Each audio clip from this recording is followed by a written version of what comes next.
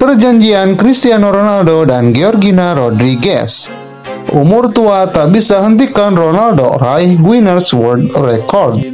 Cristiano Ronaldo merasa tidak puas.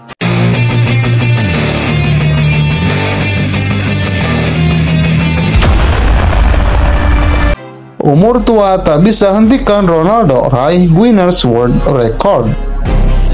Pertandingan kualifikasi Euro Islandia versus Portugal jadi saksi bersejarah Cristiano Ronaldo. Ia menjadi pahlawan kemenangan timnas Portugal saat mengalahkan Islandia 1-0 dalam lanjutan grup J kualifikasi Piala Eropa 2024. Ronaldo sukses memecah kebuntuan di menit 89 sekaligus jadi pemanis Ronaldo yang mengukir sejarah gila di pertandingan tersebut. Laga ini merupakan laga ke-200 Ronaldo bersama Portugal. Jumlah tersebut membuat CR7 mendapat penghargaan dari Guinness World Record sebagai pesepak bola pria pertama yang bisa bermain 200 kali untuk timnas senior. Meski umurnya sudah menginjak 38 tahun, tapi Ronaldo masih menjadi pilihan utama skuad Portugal dan belum mau pensiun. Dengan begitu, Ronaldo pun masih akan terus mengukir sejarah yang telah menanti di depannya. Dirinya membuktikan bahwa umur hanyalah angka dengan menyumbang 5 gol di tempat pertandingan terakhir bersama Salesao das Cuinas. Cristiano Ronaldo merasa tidak puas.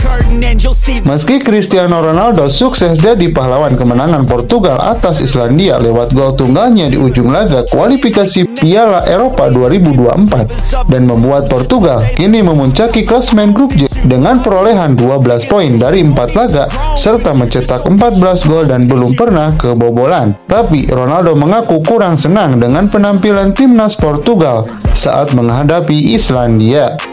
Saya tidak terlalu puas, kami tidak bermain bagus. Tetapi terkadang sepak bola memang seperti itu. Ujar Ronaldo.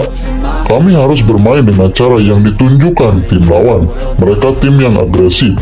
Mereka bermain secara langsung dan banyak menendang. Ujar Ronaldo menambahkan.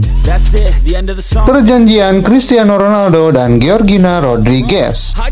Cristiano Ronaldo dan Georgina Rodriguez tinggal di Arab Saudi, tapi tak membuat mereka sungkan menunjukkan kemesraannya. Dalam acara TV Portugis, TV Gaya, Cristiano Ronaldo dan Georgina Rodriguez dikabarkan memiliki perjanjian rahasia yang selama ini tak diketahui banyak orang.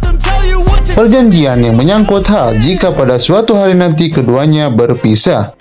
Cristiano Ronaldo dapat melindungi kekayaannya.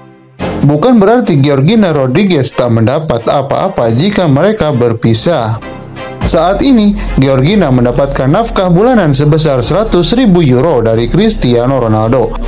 Uang yang didapat Georgina dipastikan akan meningkat jika mereka berpisah.